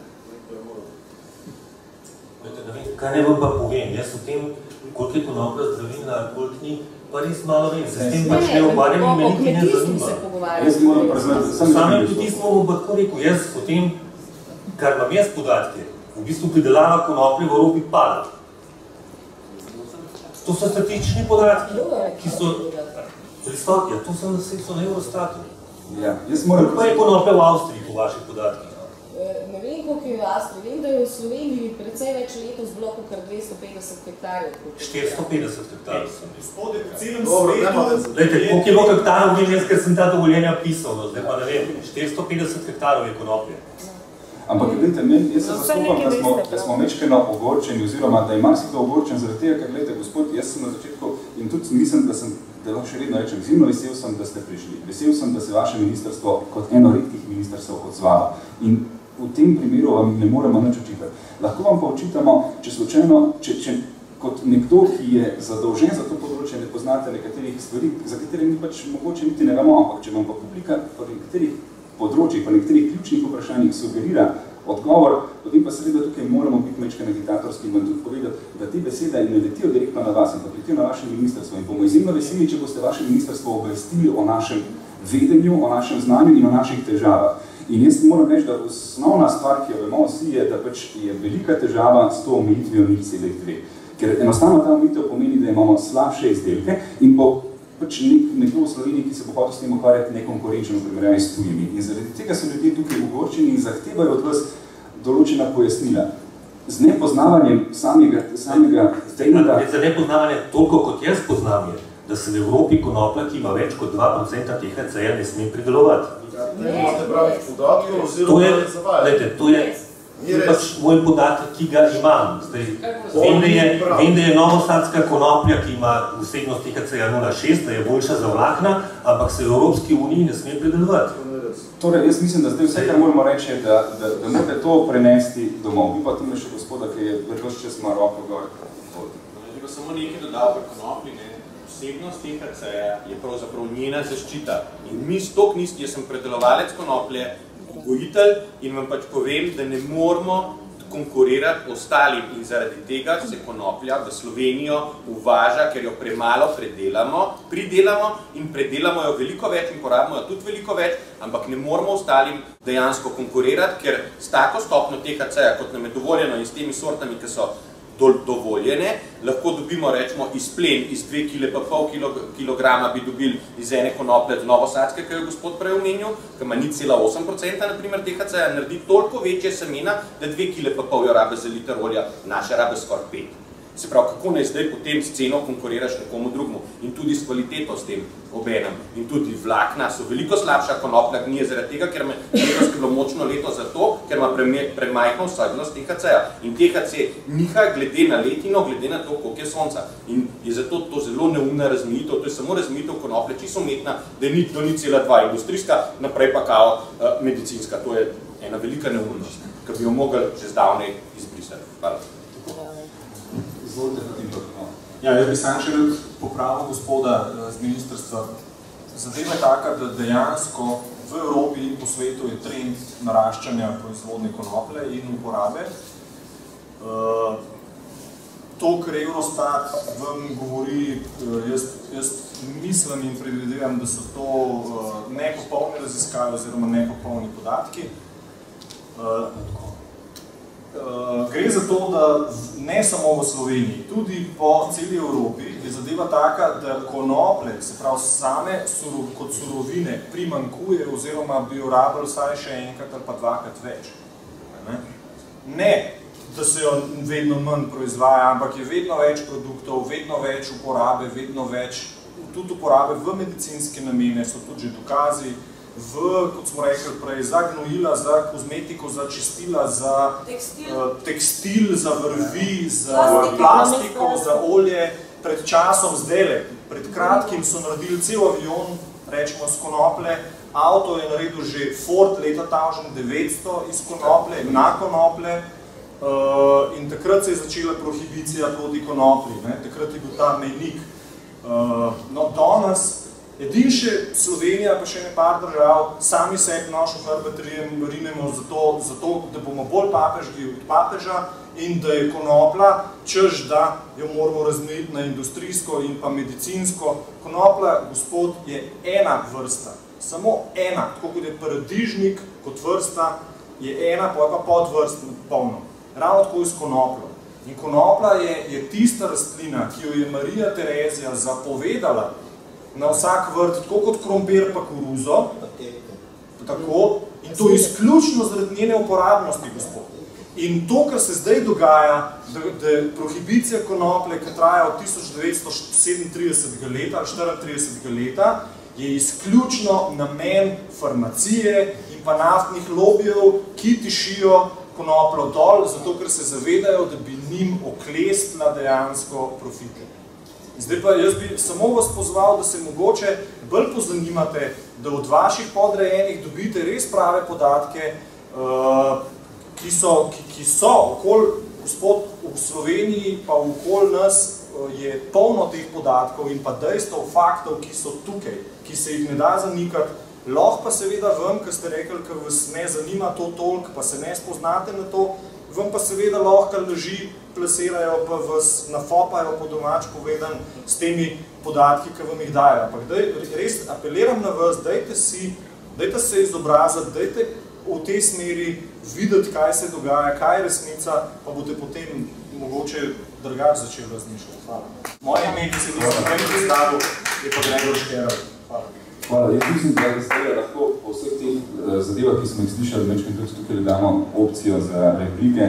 Marsikdo je dobil tudi kakšno um, zadevo za to. Pa, možete, da imaš to smola, da si precej stran od meni. Ja, jaz bi samo eno, uh, uh, jaz bi uh, ponovno rekel, da uh, dejansko Ministrstvo za kmetijstvo in okolje uh, svoje stvari naredilo.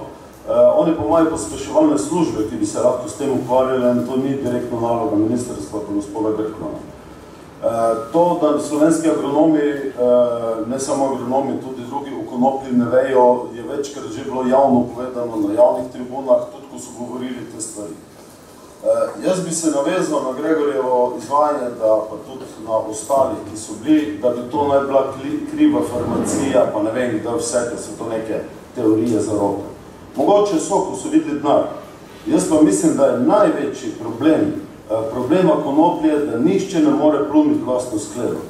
Ker če ti do danes nekdo tupi, kak je uk in joj in nevarno, ti ne more naslednji dan povedati, zdaj pa lahko delate, kar hočete. In ta vlak je zamujen bil v Sloveniji s, plu, s tem plujenjem vlastno skledu leta 1999, ko se je sprejemal ZPPPD, ki se 20 let že ne izvaja in pač eh, najlažje je stvari pometati pod preprogo. In predvsem na Ministrstvu za zdravje je za ta kupček smeti prevelik, da bi ga lahko tako poštili. In to je tisto, kar je rak rana na tega problema. Gospod Krik, ste prav tako hotel povedati. Ja, jaz bi rad tukaj nekaj skušal umiriti te vode, ker nobeno ne koristi ta projekt kontra uh, pozicija. Kvečemo nam vsem skupaj škodi. Treba, jaz sem se z starimi ljudmi pogovarjal, ki so še živeli v kulturi konoplje. Ne? Mi smo imeli kulturo konoplje, pridelave konoplje. Smo imeli cele vasi, ki so delali samo to in so živeli samo od tega. In potem smo to kulturo konoplje nekaj odrezali. Ne? A veste, tam ne vem, 34. do, do prve druge svetovne.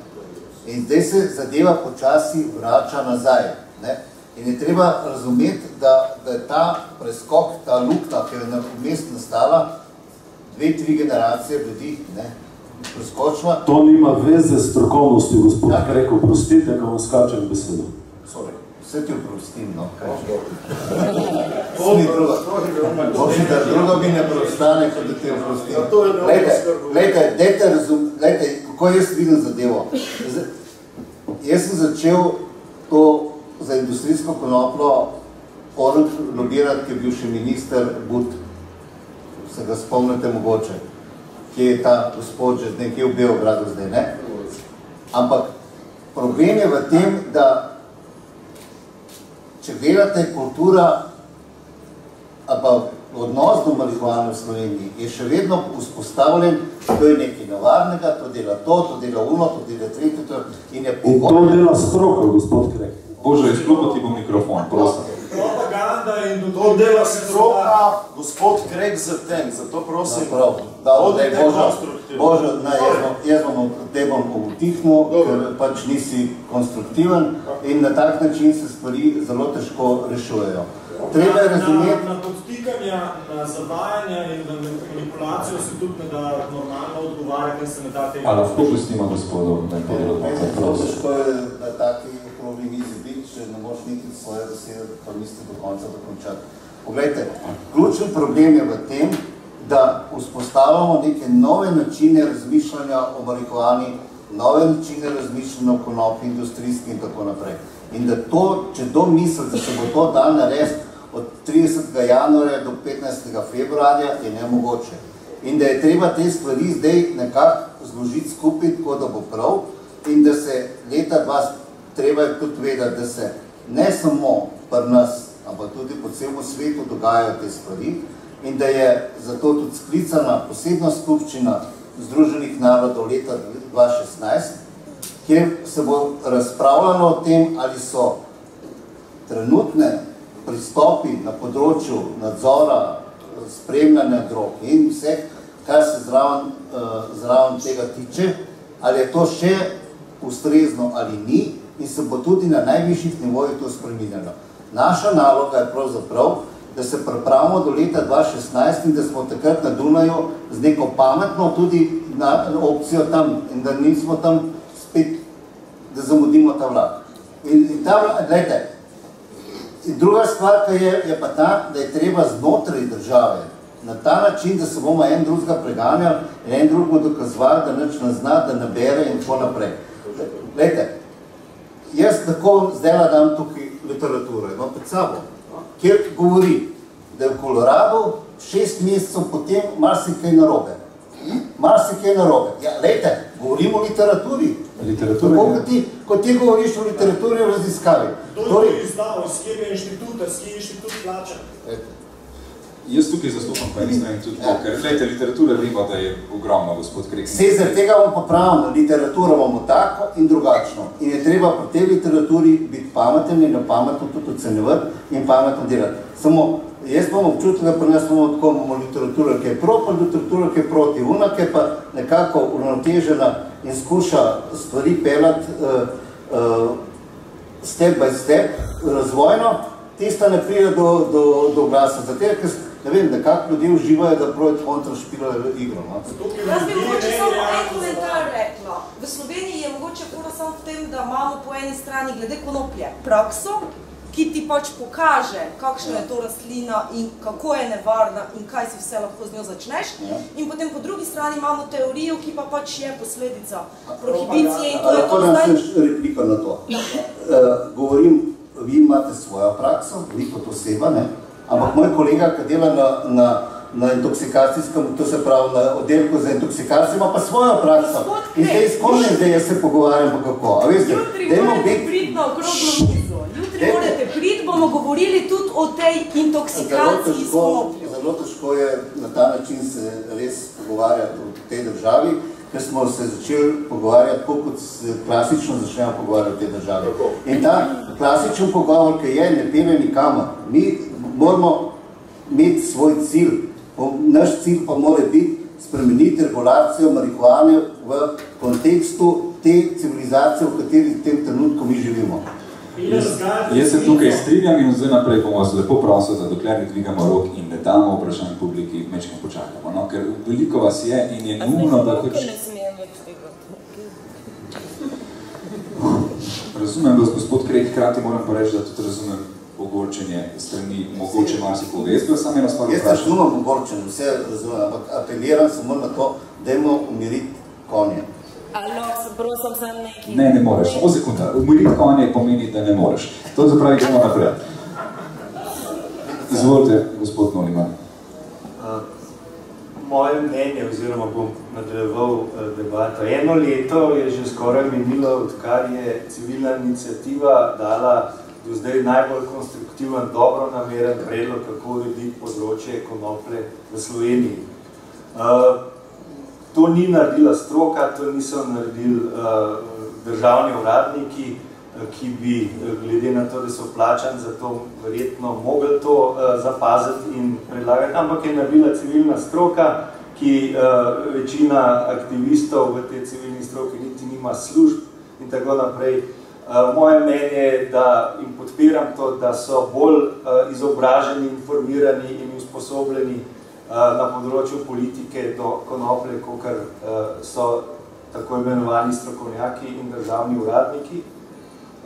In od takrat naprej se je naredilo samo to, da, se je, da smo dobili pač, da je šel sintetični THC pač iz skupine najbolj prepovedanih drog v uh, drugo skupino. Pravzaprav je tle sploh uh, nasedati in, in se pogovarjati o, o temu prerasporejanju uh, različnih uh, snovi, uh, rekel, nasedati na manipulacijo. Ta, ta, uh, ta razporejanje snovi je, je neetično, je, je uh, nezdravo, nezdravo, je polno ne, uh, kontradikcij, nesoglasij. Vemo, da je konopla v razredu najbolj nevarnih uh, uh, drog, še vedno, da je pa v uh, drugih razredih manj nevarnih, ki se lahko v medicini uporabljajo metadon, uh, amfetamini in take uh, naumnosti so. Skratka,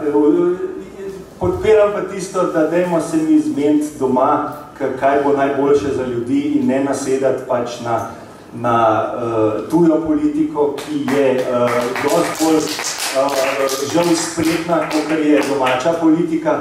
Mi imamo uh, uh, ljudi, uh, državne uradnike, ki hodijo na sestanke Svetovne zdravstvene organizacije, komisije za narkotične dro droge, sveta za nadzor nad, nad drogami. Imamo možnost vplivati na to politiko, dajmo zahtevati od teh ljudi, da tudi vplivajo, da ne da samo hodijo tja kimati in, in in se prilagajati, ampak da vplivajo na to, kdo je naredil pozitivne spremembe danes na področju konoplje. Američani, pravzaprav tisti američani, tista Amerika, ki je to vse zakuhala in sedaj je zadeva uh, prišla toliko daleč, toliko ljudi je dozorelo, kritično, prišlo je do kritične mase, da so ugotovili, kakšno škodo je vojna proti drogam, prohibicija, kakšno škodo so konvencije naredile ljudem, govorimo o, o, o ljudeh, ki so prezgodaj umrli, prostite,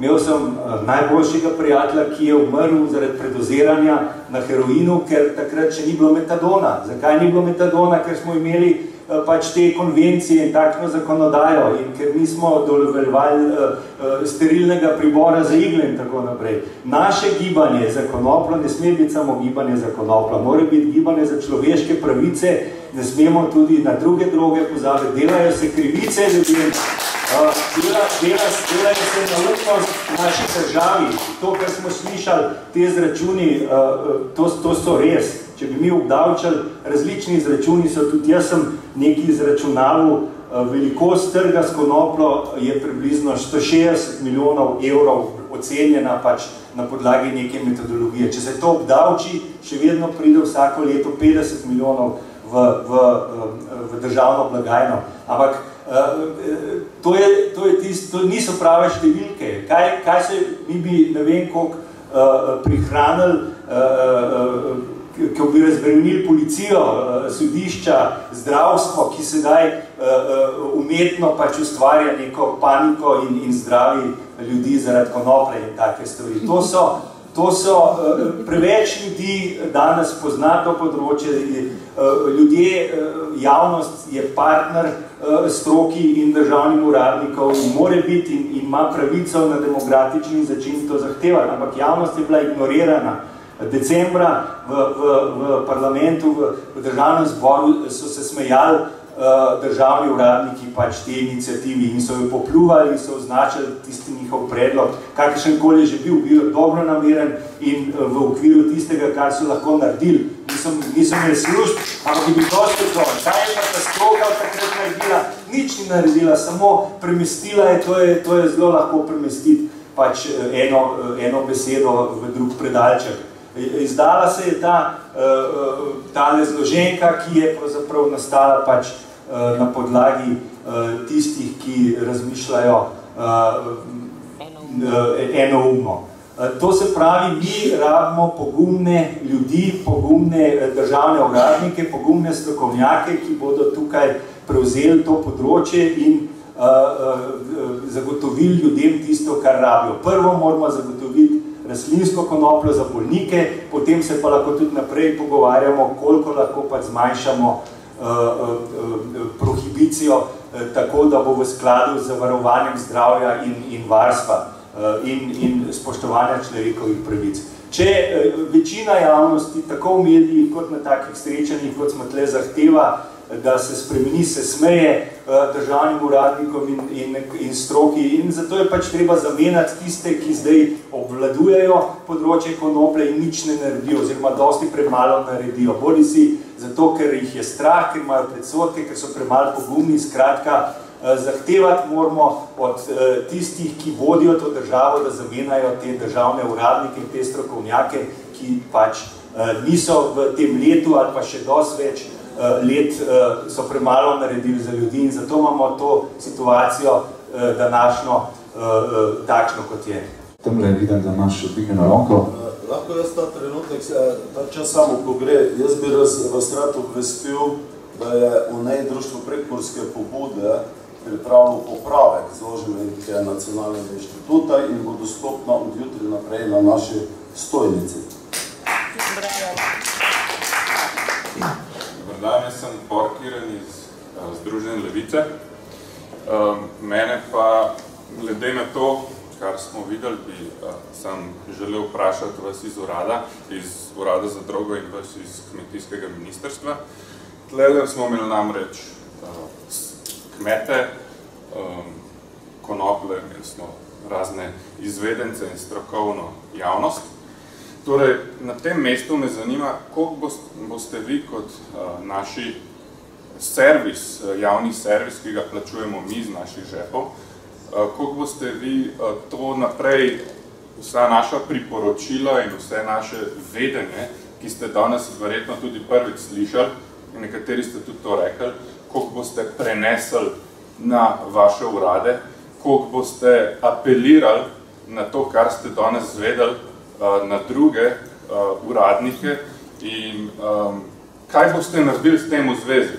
Poleg tega pa glede na to, da ste naš javni servis bi rad videl vaš zapisnik, ki ga boste morali, upam, da pripraviti vašim nadrejenim in vašim sodelavcem. Tako da vidimo, kaj sploh se dogaja po tem sestanku na uradi. Kako boste pravzaprav poročali? Jaz te nekaj posebnega komentarja nimam, v bistvu takrat okrog, mislim, se že odložil, sem tle se govori o legalizaciji konoplje, no, jaz sem, kot sem že rekel, se ukvarjam z industrijsko konopljo. Tudi v industrijski konoplji so se tle govorilo, gospod, ki kmetuje na tem, je povedal marsikatero zadevo, ki je problematična. Zdaj, jaz ne vem, kje ima on podatke in kakšne bi bile te sorte. Praksa, gospod. Praksa, glih to govori. Praksa in vi uradniki, kakšno sodelovanje je to. Glejte, jaz sem vam že enkrat rekel, če so Eurostatovi podatki taki, kot so, so pač takšni, kot so. Človek je tukaj. To je nek dialog med Človek sedi tam, ne, jaz ne vem, a se ukvarja s konopljo, pridelujete konopljo, vi v belem grobu. Vi ste pa, kako se pišete? Ne kmet, ki pridelujete konopljo. To nima veze. Lahko boste že. Jaz se nima že, no, dobro. Nima veze. No, nima veze, kako se piše, samo povedite mi, kakšne imate težave in kakšne so pa te sorte, ki jih vi poznate, da imajo več teh CN, ki v Evropi predelujejo. Finola, recimo. Finola, finola je v Sloveniji dovoljena. Ni. Kak, če čez ena, uh, čez en, čez en procent imate skoraj se ne da pogovoriti. Finola je dovoljena, no. Zdaj, jaz ne moram tle se kviza, veste, jaz sem bral knjigo o konoplji od tega, ne vem, naslova konoplja. Glejte, tako vam, tako bom rekel. Če berem tisto knjigo, pa če poslušam vse tlele, pa to, kar poslušam že od leta 2004, takrat, ko smo pravilnik začeli delati in se s tem ukvarjam že od leta 2004, v bistvu pa še prej, v bistvu konopla samo govori ne. Kako pa veste stvari, osnov, gospod, faktov, dejstev? Kakšni faktov, a to, da se, to, da se konopla uporablja za plastiko, pa za vse te zadeve. Ja, vse, seveda vse, samo ne v Sloveniji. Sedaj pa ne. Prosim, če mi govorite na vprašanje. Ali boste vdali zapisnik? Ali ga bomo videli? Ne, zapisnika ne bom pisal, ni, mi, ga vam ga nisem dolžen podajati. Dobro, če pa boste slučajno povedali, pa prosim povedajte, da smo govorili o regulaciji in ne o legalizaciji konoplje, toliko, da imamo terminološko stvari urejene. Jaz sem vas hotel za zaključek vam povedati, da več kot 90 odstotkov stvari, o katerih bi morali govoriti, nismo govorili. In ne o tem, ne zato, ker nismo imeli konstruktivne debate, ampak zato, ker je problematika toliko široka, da bi najbolj potrebovali precej več kot dve uri. Naslednja stvar, ki pa je res ključna po tej naši današnji debati, veliko okroglih nismo imeli, ampak toliko po en strani mogoče na elektrene strani in nas in občinstva pa že dolgo ne, oziroma se je vsaj jaz ne spomnil. In mislim, mislim, da moramo, mislim, da moramo mi sami razčistiti, zakaj smo pravzaprav med sabo toliko nesrečni in zakaj ne moramo najdeti konstruktivnega nekega dialoga vnaprej. Lahko izvolite. Glede, zdaj, kar se tiče tega, kaj jaz vem in kar ne vem. Zdaj, tam je kolega prav, Finola v Sloveniji ni dovoljena. Finola je v Sloveniji dovoljena. Ni bila dovoljena, ker je bila dovoljena nekaj časa samo na Finskem. Zdaj je pa dovoljena po celotni Evropi. Zato tudi potem neki, potem to nekaj pač pomeni. Sam, zdajte, jaz zdaj ne moram na vsako vašo, vi tega ne veste, zdaj pa pec. Zdaj pa, ne vem, nisem slišal. Ne vem. Tega, tega, tega ste rekel, da tudi ne vem, da Finola ni. Se sem jaz pisal predpis, se, se ga spremljam in vem, da je Finola pač dovoljena. Zato, ker je nižja, zato, ker ima večji predelek semena in vse te stvari. Ne? Ni pa bila dovoljena, ja, do, do pred dveh let. Kot Tibor Salaši tudi ni bila dovoljena. Zakaj ni bila dovoljena? Samo to. Ne, da, ni, bila, ni bila pa dovoljena zato, ker se je v, v, samem, v samem postopku pridelave, ko se, ko se pobirajo vzorci, je bilo v Evropi nekje ugotovljeno, da, je, da presega tistih 0,2 THC-ja in jo je Evropska komisija umaknila za spiska. Potem so pa Finci in ostale države z poskusi dokazali, da se je pa da, pa, da po temu ni tako več in je prišla nazaj na spisek. Jaz mislim, da lahko nadaljujemo debato, vsaj pozoril sem na tem, da v predverju moramo pač že končati, ker je počasi že naslednja javna debata, ki bo tukaj sledila. Torej lahko v predverju, jaz mislim, da še izmenjamo kakšno besedo.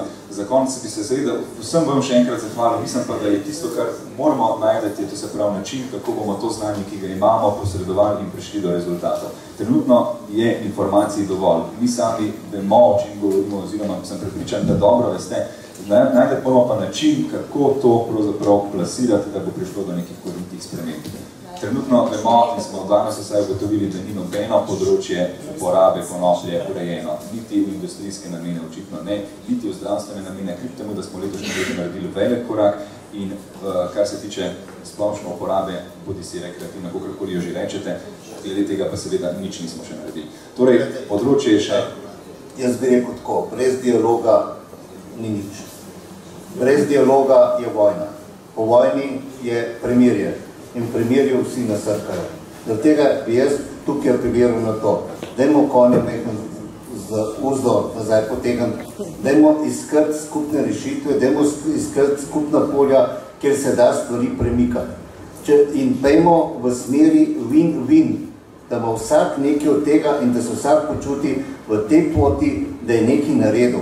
Razumete, tudi tiska mogoče, mislite, da čist nič ne bo naredil, na koncu naredi, ker so pač stvari potem tako postavljene. Uh, pro in kontra sistem je dober na začetku, da se problem odpre, potem pa vam garantiram, nikoli ni več uspešen. Potem je treba pa začeti skupne stvari vleči. Ker če bomo vsak na svojem bregu, nikoli ne bomo mostov gradili. Zaradi tega je treba vse te stvari lepo, počasi, pucati, step by step in urediti od industrijske do medicinske in do zdravljenja. Evo, to je to. Najboljše, da zaključim. Ja. Uh, jaz bi se zahvalil vsem skupaj. Ne? Uh, rekel bi pa samo eno, bi se navezal na izvajanje gospoda Kreka. Naš namen ni vodenje vojn. Uh, vojne vodijo državni uradniki. Mi vas samo upozarjamo na napake, ki jih uradniki delajo in na tiste, ki jih nočejo spremeniti. Ena takih je tudi to. Censurani resnic. E, nažalost smo jih vabili, pa nimajo jajc priti. Hvala vsem, ki ste prišli. Hvala vsem.